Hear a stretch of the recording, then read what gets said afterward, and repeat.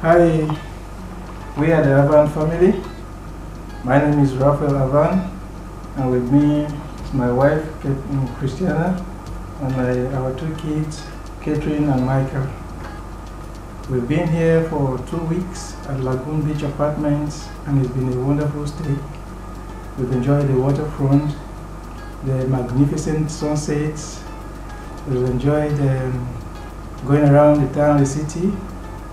We've been to almost all the big malls around, Canal Walk, Bayside Mall, Table Bay Mall. The weather has been a bit on the low side, but we took advantage of the sunny days and did as much as we could. We even went to the wine lands, did some wine tasting, went to the strawberry farms, got some nice, uh, luscious strawberries. Uh, it's been a wonderful stay uh, overall.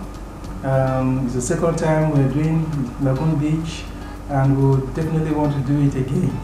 Thank you so much.